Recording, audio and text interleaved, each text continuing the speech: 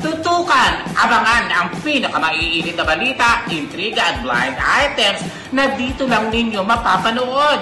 Bato-bato na lang sa langit ang tatamanin sigurado mabubukulan. Aray! Total din lang Salvador ang BI natin. Pangalanan naman natin yung isa pang Salvador na nahaharap sa isang matinding problema, of course. Si, Deborah Sun.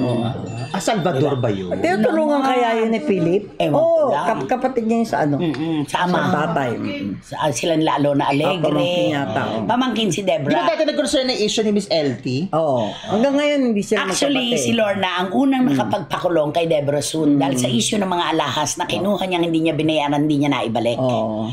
Eh, sa kapapangako, kapapangako, kaya yung mga nangangako magbabayad, magbayad kayo. Or else, Nagalit si Lorna, idinimanda siya.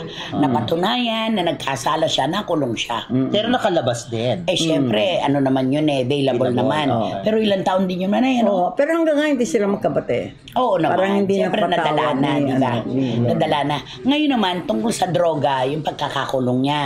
Dinedeny niya, hindi raw siya gumagamit, lalong hindi siya nagbebenta. Pero napatunayan ng mga otoridad, positive sila ng anak niya eh. Ah, pati yung Sa anak. droga, oo. Yung babae, Tsaka, babaeng ano, anak. Oo. Tsaka hindi, tiga mo yung itsura niya, oh. Di ba dati ang ganda-ganda ni Deborah? Tignan mo. Oo, parang parang naging ano na siya, ang payat-payat. Hindi, pag nagdodroga talaga, nagiging yayat yung mukha. So wala na siyang naging, kumbaga yung mga kasama niya, yung mga kabatch nila Miss LT, wala nang siyang nakakausap. Sila Isming, di naman niya kaiba. Oo. Lahat na, ng wala kaibigan na. nila, parang umiwas. Ikaw ba gusto ma-associate sa ganyan? Sa may anik. Oo. Oh, afraid. Tapos eto pa, di ba pinatira siya ni Aramina sa isang Oo, lumang sa bahay, condo oo. unit niya. Pinatira siya ni Ara dahil Na wala walang siyang bayad. matitirahan, Mm. walang bayad. Kaya ang... ang Pati ilaw at tubig yata si Aramina nagbabayad. Oo. Kaya kita mo, Pagkain. Kapag ang tao talaga ay walang pangarap na magbago, walang magagawa ang rehab center. Sa tao dapat nagmumula ang pagbabago. Kahit anong ibigay mo diyan na na ano, na leksyon o sa rehab, hindi yan magbabago hangga't hindi sa Sa, sarili. sa sarili niya dapat talaga manggagaling yun. Ang dami namang ganyan. Kaya- JM De Guzman, nakabangon. Pinakamatinding example, Tita Gina Carreño. Mm. O, nung, nung bumalik Oh, at naka ano yun? umiwas, Na, nakulong yun. yes, nag-rehab.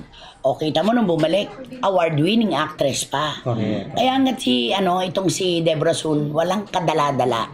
Pag hindi yan nagbago, balik-balik lang siya. Sayang Balik-balik naman. lang. Nakakapanghinayang, ano? Pero paragay mo, tinutulungan sa ni Philip Salvador. hindi ko alam. Si Kuya Epi naman, di mo na maintindihan ang buhay. Diba? eh, yung mga Junakis nga. Eh, Makaubo-ubuhan. mga tao nga nakatulong sa kanya, hindi naman niya inaalala.